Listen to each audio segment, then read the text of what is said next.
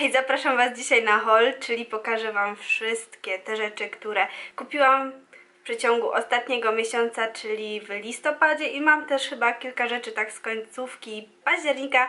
Myślę, że mam kilka takich fajnych, ciekawych rzeczy. Jeżeli jesteście zainteresowane, zapraszam do oglądania. Aby ten haul nie był jednym wielkim chaosem, to stwierdziłam, że mm, będę się trzymała kolejności alfabetycznej i zacznę od tych rzeczy, które kupiłam sobie na Allegro. I pierwszą rzeczą jest Tangle Teaser, ponieważ mój stary miał już ponad dwa lata. Tak, bo mam go od końcówki pierwszego roku studiów i stwierdziłam, no, że warto sobie kupić nowy, bo w tamtym starym już tu igły były takie powykrzywiane i tak dalej i padł, mój wybór padł na taką wersję arbuzową, jak ja to nazywam z koleżankami. Wierzch ma zielony, a tutaj te igiełki ma różowe i według mnie jest to no, jeden z najładniejszych Tangle Teaserów.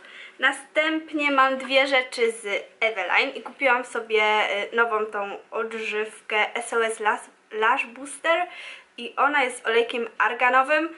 W sumie nie wiem dlaczego nie zdecydowałam się na tamtą tak jakby podstawową wersję, ale ja jestem zadowolona z tych odżywek i używam ich już od chyba też ponad dwóch lat, więc kończyła mi się, to sobie zakupiłam nową.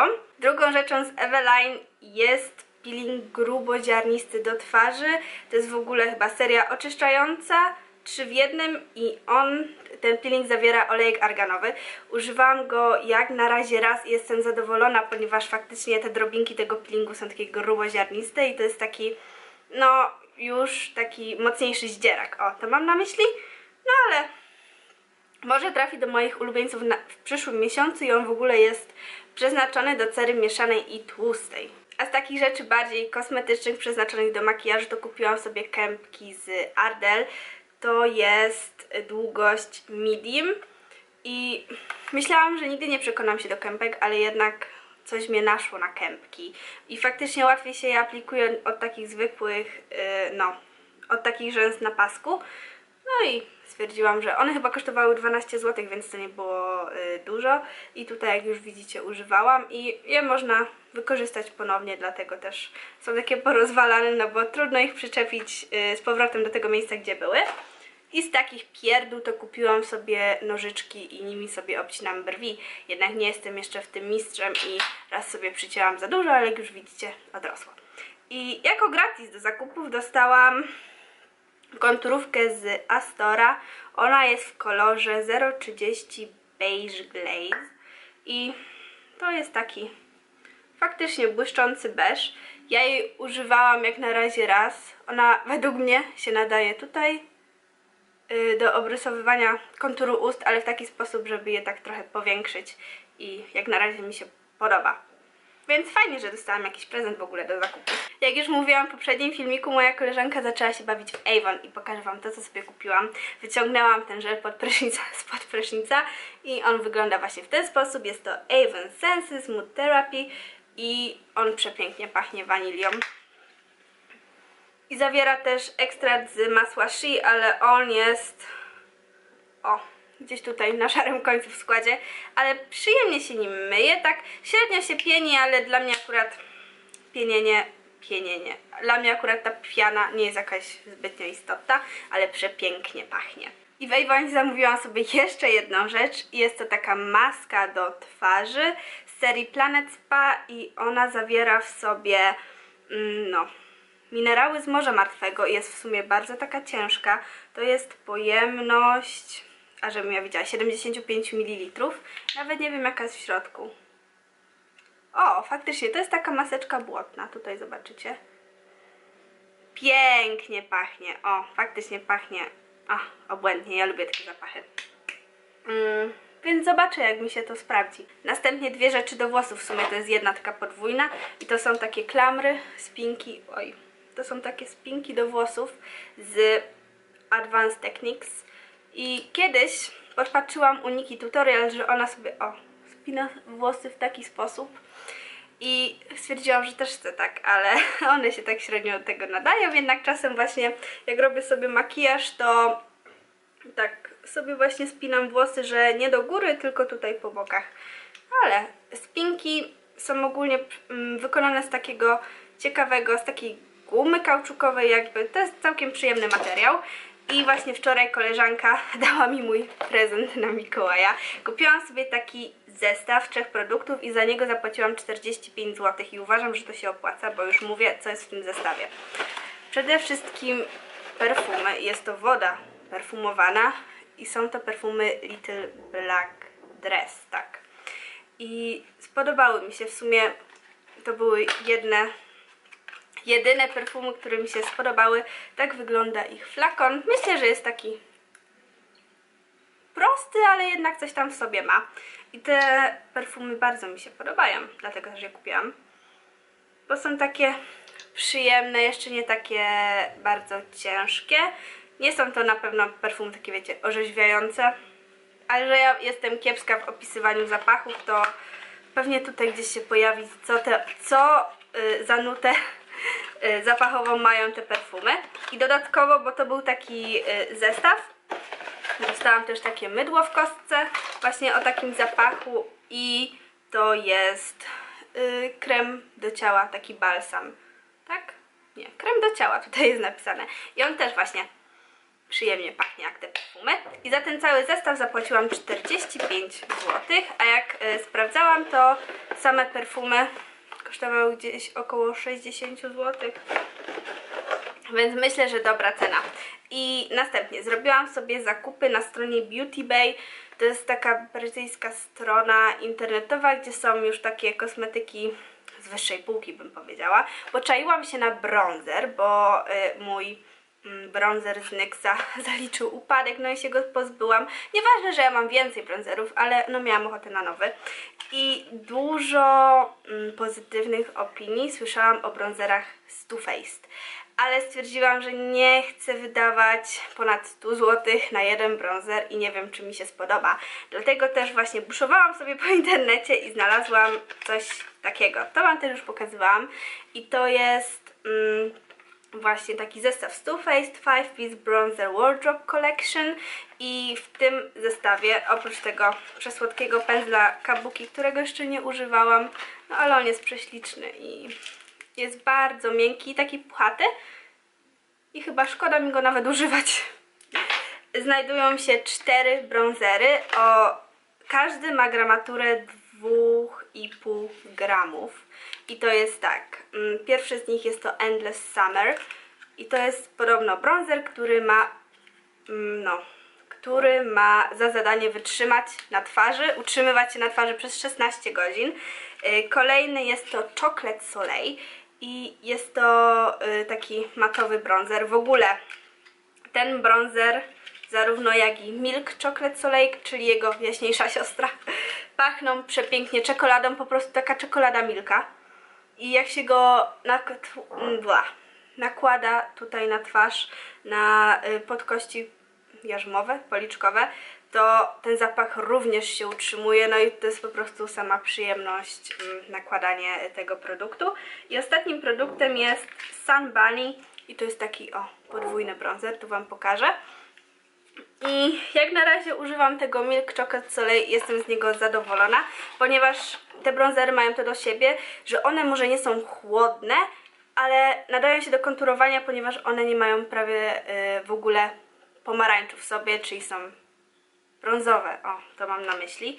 I za ten zestaw zapłaciłam chyba około 90 zł, ale mam tutaj cztery bronzery i mogę sobie je wypróbować i myślę, że y, no, gramatura tych produktów również nie jest jakaś mała i myślę, że mi wystarczą na długi czas.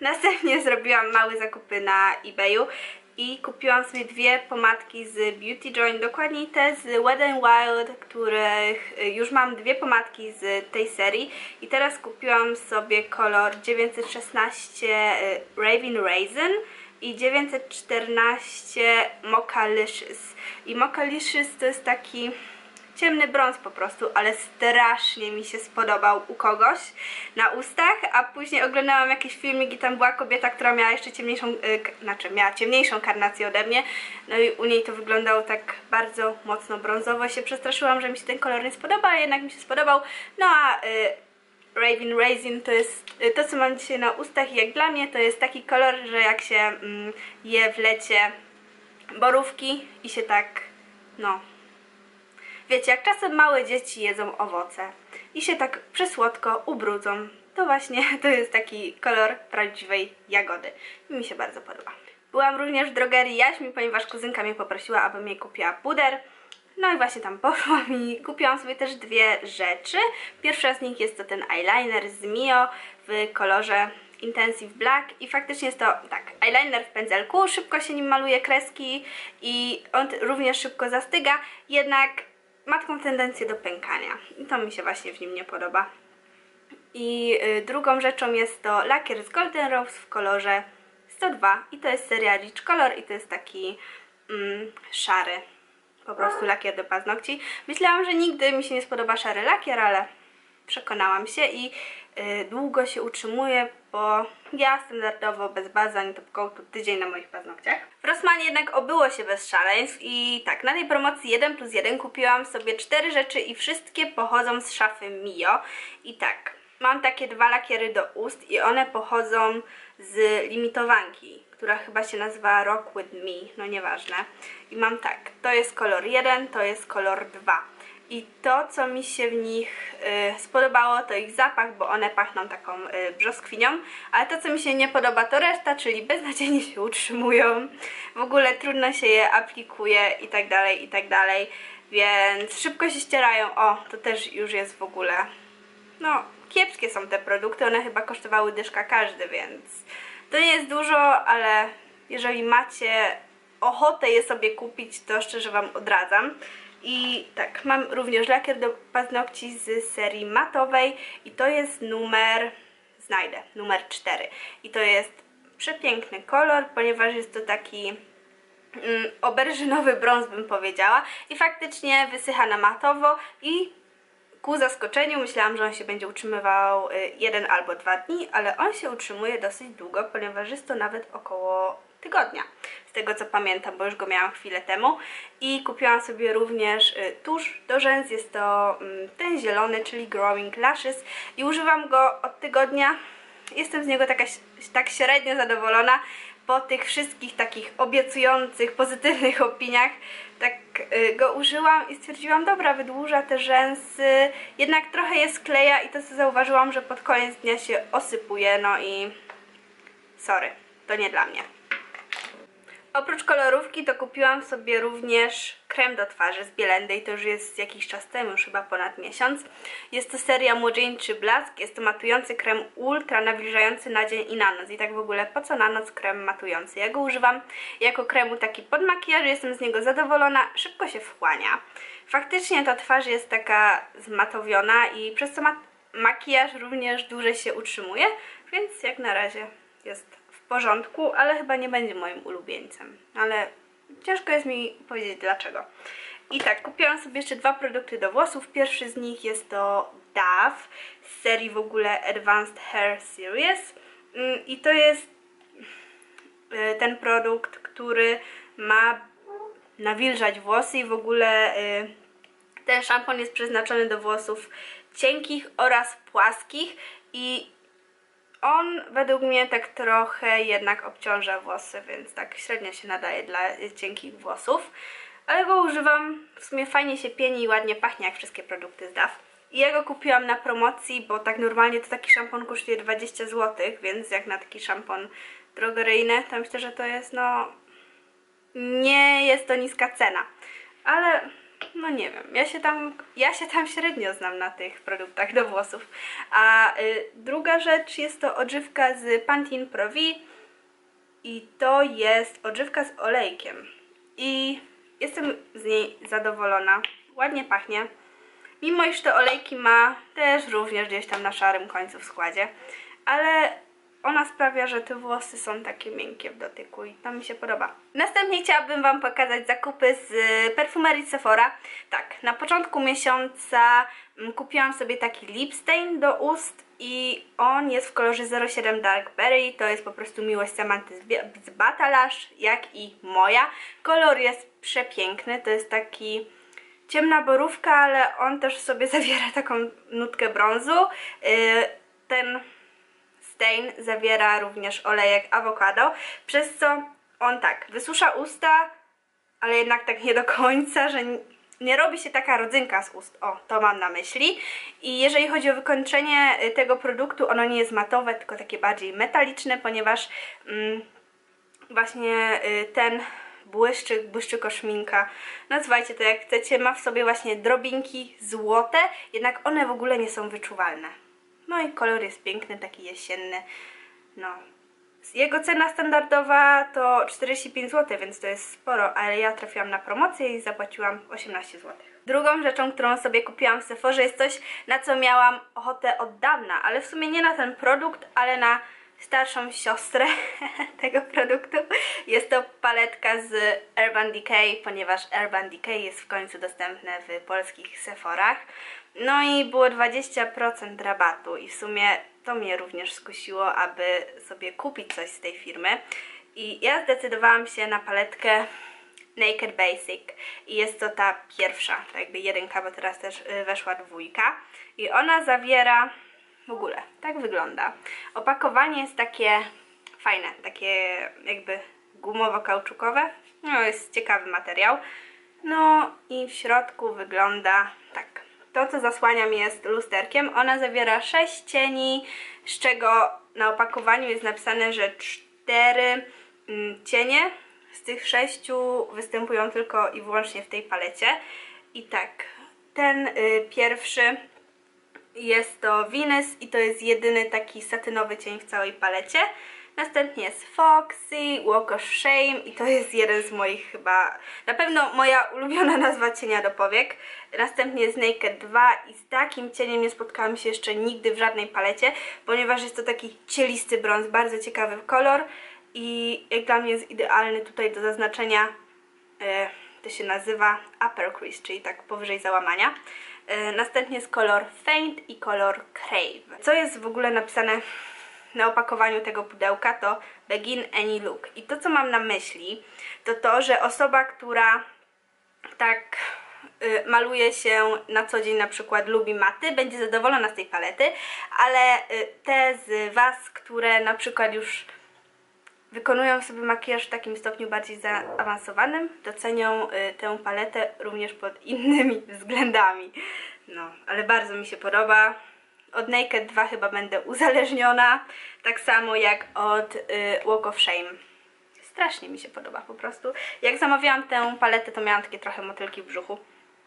I tak trochę żałowałam, ale z drugiej strony właśnie miałam te motylki w brzuchu i byłam taka podjarana. No i tak w ogóle to kazałam sobie y, tę paletkę zapakować na prezent, bo robiłam y, zamówienie na, no, w sklepie internetowym Sephory, więc dostałam jeszcze takie pudełko. A jeżeli chodzi o próbki, to dostałam trzy próbki. I tak, y, dwie próbki to są perfumy. Pierwsze z nich to Bottega Veneta Not i ten zapach jest taki ciężki i mi się podoba. A drugi zapach to Chloe Love Story i ja ogólnie nie przepadam za Chloe, bo dla mnie wszystkie te zapachy pachną jak proszek do prania. Oczywiście, jeżeli komuś się podobają, spoko, ale to, to nie są po prostu moje zapachy. I dostałam też maskę do twarzy z Algenist i ona właśnie zawiera wyciąg z alg. I ostatnim sklepem, do którego y, zawitałam i coś kupiłam, był to y, TK Maxx, a poszłam tam tylko dlatego, ponieważ zobaczyłam na Instagramie, że dziewczyny wrzucają y, produkty z Too Faced i że one kosztowały, nie wiem, no ale na pewno mniej niż tak, y, no, niż regularna cena produktów z Too Faced. I co? No oczywiście poszłam, nic takiego nie znalazłam, ale zobaczyłam perfumy. I kupiłam je, mimo że nawet nie znałam tego zapachu. No ale akurat tutaj moja intuicja mnie nie zmyliła i zapach strasznie mi się podoba. I są to perfumy z Juicy Couture, Couture, Couture. I w ogóle tak. Opakowanie jest duże, ale to jest tylko pojemność 30 ml. I co? A perfumy wyglądają tak. Po prostu opakowanie jest przepiękne jest takie wręcz królewskie bym powiedziała i sam zapach w sobie jest ciężki, ale taki owocowy i jak się nim stryknęłam po raz pierwszy, jak go po raz pierwszy użyłam, po prostu byłam oczarowana, długo się utrzymuje i tak ogólnie no to pasuje do mnie, więc się polubimy. Już się polubiliśmy. Dziękuję Wam za oglądanie. Dajcie mi znać, czy podobał Wam się ten haul zakupowy, czy coś Wam się właśnie spodobało. Dziękuję Wam za oglądanie. Jeżeli Wam się podobało, no to dajcie mi kciuka w górę, jeżeli chcecie. Zapraszam również do subskrypcji mojego kanału. Trzymajcie się. Pa, pa. Bo jak w przypadku tego pędzla Pointed Foundation Brush, on był w zestawie Sampix, dlatego też no po prostu nie mogłam go nie mieć, bo no nie mogłam sobie wybrać pędzli, które będą w zestawie.